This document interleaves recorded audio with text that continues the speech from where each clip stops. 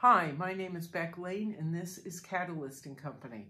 Catalyst & Company started off as Studio 120 back in January, January of 2013 uh, as a way for me to promote myself and my artwork. In May of 2021, I decided it was time to refresh and recalibrate myself in the channel, so we changed the name to Catalyst & Company. We still have a focus on, on painting, on artwork, on what all of it means, but it's the channel is basically a look into an artist's studio and an artist's life and what it all means. We've watched the evolution of my artwork as social media has changed and certainly as YouTube has changed.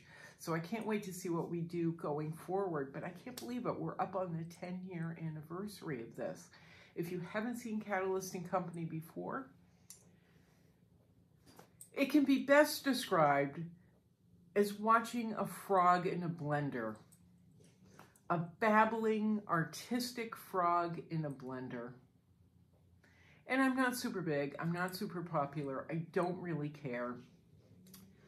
I have a feeling, though, this channel could become a cult classic over time, like Rocky Horror Picture Show in the 80s, or chipped, chipped beef on toast.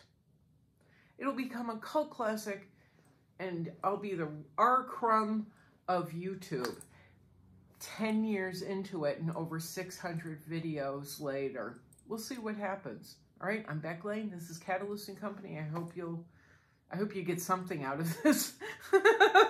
I know I have, and I appreciate everybody who's been watching and subscribing. All right. Ciao. Ciao. Meow. Meow.